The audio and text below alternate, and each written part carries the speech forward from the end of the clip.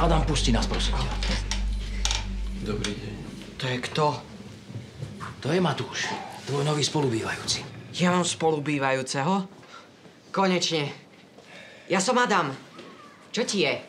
Adam, nechaj ho. Teraz prišiel. Prepáčte, Adam je trochu zvedavé dieťa. Prosím vás, viete už niečo nové? Krv vzali do labákov. Keď prídu výsledky, dáme vám vedieť. Čo sa mu stalo? Ja neviem.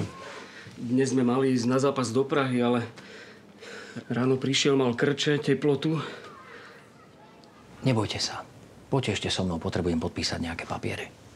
Dobre. Ja sa vrátim. Ahoj, ja som Adam. Aký si mal mať zápas? Futbalový? Adam, nechaj ho.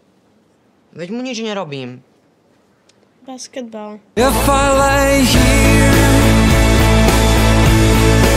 if I just lay here, would you lie with me and just forget the world?